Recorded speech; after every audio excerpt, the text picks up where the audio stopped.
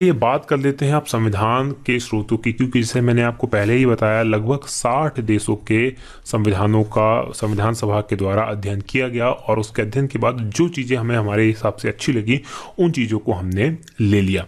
तो विभिन्न देशों से कौन कौन से इंपॉर्टेंट जो नौ देश हैं जहाँ से हमने चीज़ों को लिया है और क्या क्या वो लिया है, बहुत इंपॉर्टेंट हो जाता है सुपर इंपॉर्टेंट है, बहुत पूछा जाता है। चलिए देखते हैं। देखिए, सबसे पहले तो जो लिया हमने भारत शासन अधिनियम उन्नीस सौ पैंतीस में, जो भारत शासन अधिनियम था, उसको उसको हमने लगभग सेवेंटी परसेंट कॉपी किया है। सेवेंटी बल्कि सेवेंटी फाइव परसेंट तक उसको लिया है। जो ढांचा है हमारे संविधान का, जो हमारी सरकार का ढांचा है, वो इसी अधिनियम से लिया गया है। आज जो कुछ भी हमें जिस प्रकार की सरकार राज्यों के अंदर, केंद्र के अंदर और जो मशीनरी है, वो जो दिखाई देती है, जो ढांचा दिखाई देता है, जो फ्रेमवर्क है, वो यहीं से लिया गया है। तो क्या क्या लिया है? संघीय तंत्र लिया है। संघीय तंत्र क्या होता है? जब एक सरकार केंद्र में रहे, एक सरकार राज्य में रहे, उसको कहा जाता है संघीय तंत्र। तो संघीय तंत्र लिया है। राज्यपाल का कार्यालय लिया है। जैसे कि राज्यपाल होता है राज्यों के अंदर और वो राज्यों का प्रशासनिक मुखिया जो राज्यपाल होता है, वो काम वो कहाँ से लिया है? वो वीसी से लिया है। न्यायपालिका हमने इसी से लिए जो हमारी वर्तमान में लोक सेवा आयोग लिया है। इस तरह से देखा जाए तो लगभग सेवेंटी सेवेंटी प्रतिशत जो हिस्सा है वो लिया है भारत शासन अधिनियम उन्नीस पैंतीस से। चलिए अब देखते हैं ब्रिटिश के संविधान से या ब्रिटेन से हमने क्या लिया। ब्रिटेन से हमने जो सबसे इंपॉर्टेंट चीज़ ली, सुपर इंपॉर्टेंट चीज़ वो है संसदीय शासन प्रणाली। देखिए संसदीय शासन प्रणाली क्या होती है? संसदीय शासन प्रणाली के अंदर जो एक मंत्री परिषद होती है और वो मंत्री परिषद जो होती है, लोकसभा के प्रति जिम्मेदार होती है। ठीक है? और संसदीय शासन प्रणाली के अंदर जो मंत्रिपरिषद होती है, वो लोकसभा के प्रति जिम्मेदार होती है। जिम्मेदार का अर्थ ये है कि जब तक लोकसभा में संबंधित पार्टी को बहुमत होगा, तब तक ही वो शासन करेगी अदरवाइज़ उसका शासन नहीं रहेगा। और यही संसदीय शासन प्रणाली होती है और जो अपने कार्यों के लिए पूरी, जो सामूहिक रूप से लोकसभा के प्रति उत्तरदायी होती है। चलिए, दूसरी चीज़ जो ली, वो है ली हमने विधि का शासन। विधि का शासन का मतलब होता है कि भैया कानून का शासन होगा कानून जो कहेगा वो यहाँ पर होगा। ऐसा नहीं कि कल से कोई कुछ भी कह दे और वो मान लिया जाएगा वैसा नहीं चलेगा। जो कानून कहेगा उसी को हमें फॉलो करना होगा उसी को हमने मानना होगा।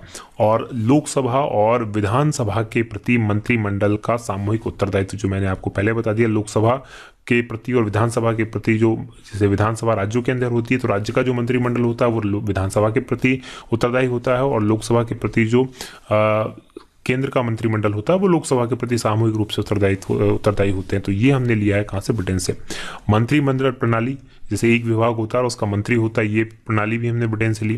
परमाधिकार लेख यानी जो रिट होती है वो हमने ली है।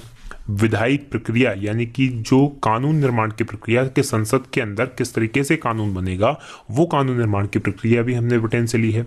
एकल नागरिकता, यानी कि हमारे यहाँ एक ही नागरिकता है, भारत की एकमात्र नागरिकता। यदि आप भारत के नागरिक हैं तो आपको मध्य प्रदेश की या उत्तर प्रदेश की या केरल की या तमिलनाडु की या कहीं और की दूसरी नागरिकता लेने की आवश्यकता नहीं है, जैसा कि अमेरिका के अंदर है। अमेरिका के अंदर क्या होता है, आपको एक तो अमेरिका की सिटीजनशिप लेनी पड़ती है और दूसरी संबंधित जिस राज्य में आप रह रहे जैसे आप कैलिफ़ोर्निया में रह रहे हैं तो कैलिफ़ोर्निया की आपको सिटीजनशिप लेनी पड़ेगी। यदि आप टेक्सास में रह रहे हैं तो टेक्सास की सिटीजनशिप लेनी पड़ेगी। तो दोहरी नागरिकता, हमारे यहाँ क्या है? एक ही नागरिकता है। आप मैं भारत में के नागरिक हैं तो आप चाहे महाराष्ट्र में रहें, राजस्थान में रहें पंजाब में रहें, मध्य प्रदेश में रहें, कहीं भी रहें, और उससे कोई भी फ़र्क नहीं पड़ने वाला। फिर हमने क्या लिया है?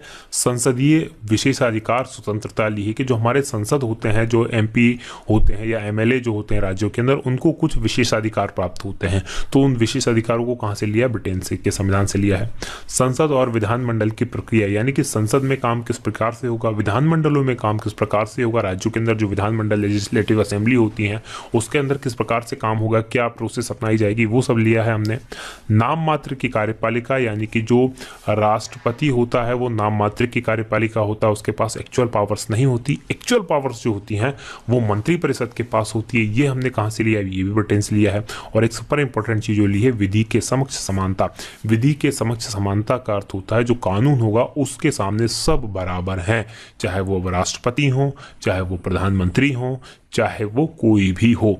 यदि किसी ने कुछ अपराध किया है तो कानून के सामने वो बराबर है। उसको इस तरीके से नहीं देखा जाएगा कि ये राष्ट्रपति है तो इसको या ये प्रधानमंत्री है, या एक बड़ा नेता है, या ये पैसे वाला है तो उसको दूसरी तरीके से ट्रीट करेगा। कानून सभी को समान तरीके से ट्रीट करेगा और समान तरीके से अधिकार देगा।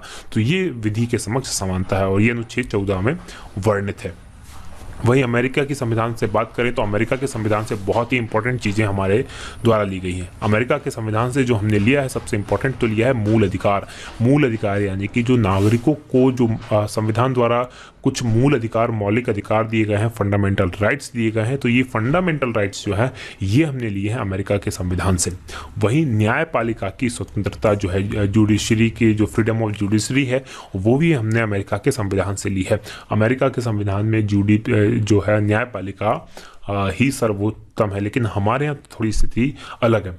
हमारे यहाँ न्यायपालिका अपने क्षेत्र में सर्वोच्च है, जबकि जो व्यवस्थापिका है, वो अपने क्षेत्र में सर्वोच्च है और दोनों के बीच में शानदार समन्वय किया गया है। लेकिन जो अमेरिका है, वहाँ पर न्यायपालिका ही सर्वोच्च है। वहाँ पर दूसरी और कोई सर्वोच्च विधि या सर्वोच्च सत्ता नहीं है। फिर लिया है हमने न्यायिक पुनरावलोकन का सिद्धांत।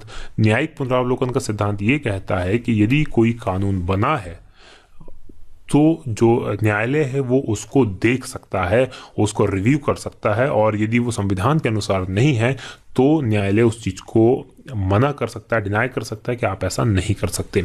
साथ में लिखित संविधान, क्योंकि जो पहला लिखित संविधान था विश्व का, वो अमेरिका का ही संविधान था तो लिखित संविधान का कॉन्सेप्ट जो लिया हमने, अमेरिका के संविधान से लिया है। उपराष्ट्रपति का पद, जिस जिस प्रकार से उपराष्ट्रपति हमारे यहाँ जो अपर हाउस होता है, राज्यसभा का पदीन सभापति होता है, उसी प्रकार की प्रक्रिया अमेरिका में भी है। अमेरिका का जो सीनेट है, उसका जो सभापति होता है, वो उपराष्ट्रपति। तो उपराष्ट्रपति का पद हमने लिया है, वो अमेरिका से लिया है। राष्ट्रपति पर महाभियोग की प्रक्रिया राष्ट्रपति को किस प्रकार से हटाया जाता है, ये प्रक्रिया भी हमने कहाँ से लिया अमेरिका के संविधान से।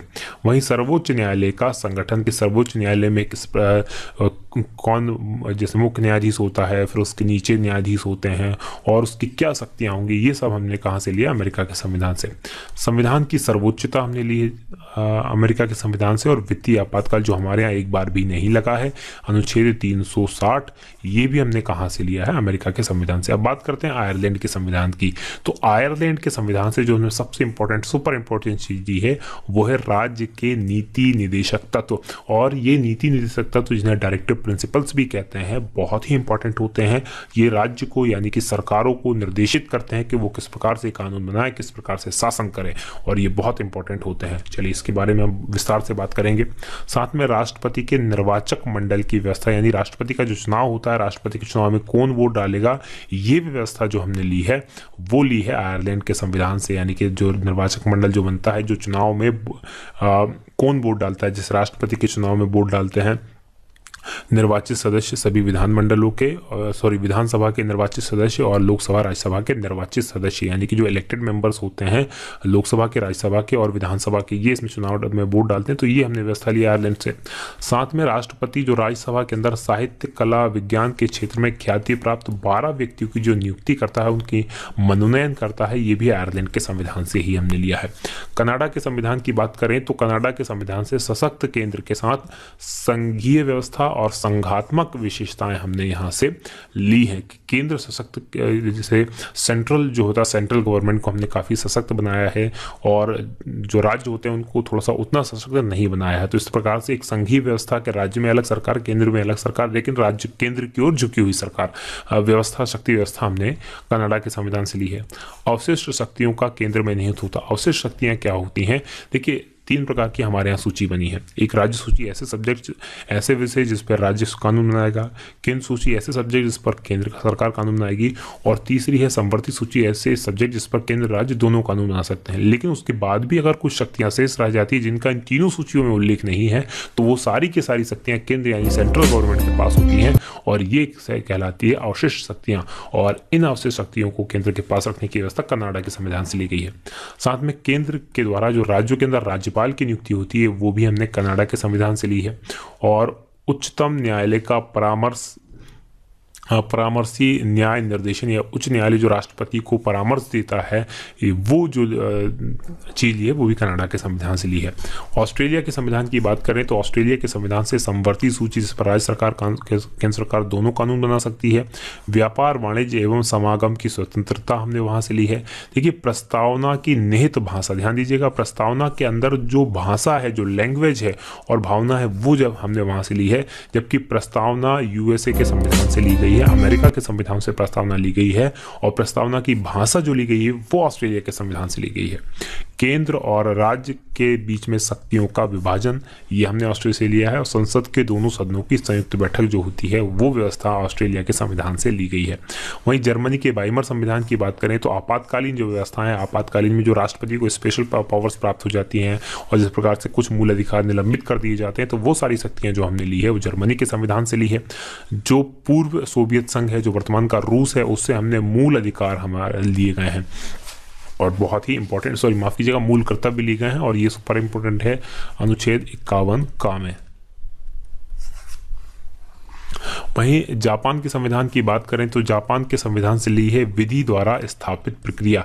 यानी कि कानून जो होगा वही, जो जिस तरीके से कानून कहता, उसी तरीके से किसी भी काम को किया जा सकता है। तो ये जो प्रक्रिया ली है, हमने विधि द्वारा स्थापित प्रक्रिया, ये ली है जापान के संविधान से और ये विधि द्वारा स्थापित प्रक्रिया जो शब्द आया है, वो अनुच्छेद 20 में आया है, जिसमें कहा गया है कि विधि द्वारा स्थापित प्रक्रिया के बिना किसी भी व्यक्ति के जीवन को समाप्त नहीं किया जा सकता।